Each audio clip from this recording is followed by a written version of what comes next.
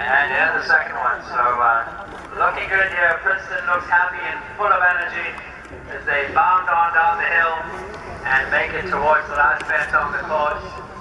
In the meantime, number 20 leaving the start.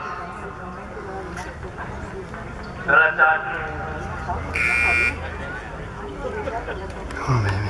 This time, Mr. Candyman, horse that needs little or no introduction to us here. 32.9 penalties in dressage. As Mr. Candyman goes clear through the fourth. Taking him down to the step table. So Phillip and Boyd on the course together. And Boyd Martin and Tsetserleg through the water complex safely. He jumped the boat with no hesitation. And he is going fast. Heading down to the chevron table now at 20.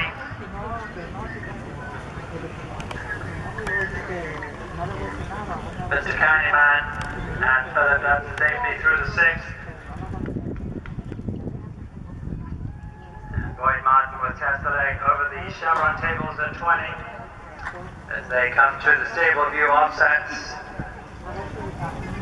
That was the backdrop for the ribbon cutting ceremony earlier today. And he sails through the uh, view offsets. Heading up to the picnic table.